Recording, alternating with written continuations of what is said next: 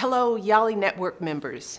Thank you all for being such an important part of this extraordinary group of young leaders who are making such a vibrant contribution to Africa's future. In just two years, the YALI Network has grown to more than 200,000 members all across Africa.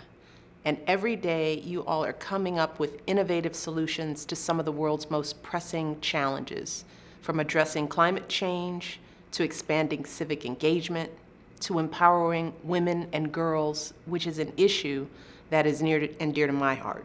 In fact, as you may know, last year, President Obama and I launched Let Girls Learn. It's a new initiative to educate adolescent girls worldwide.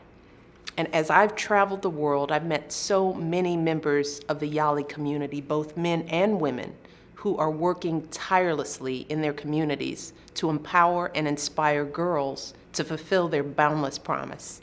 And today, I want to urge every single one of you to join us in these efforts. We need you all speaking out about the importance of educating girls. We need you to serve as mentors for girls in your communities and to hire and promote women in your businesses. And of course, we need you to encourage more talented African women to join the YALI Network so they can become leaders in their countries.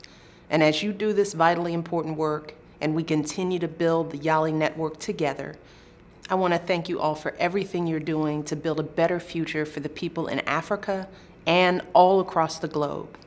And I can't wait to see everything you all will continue to achieve in the months and years ahead.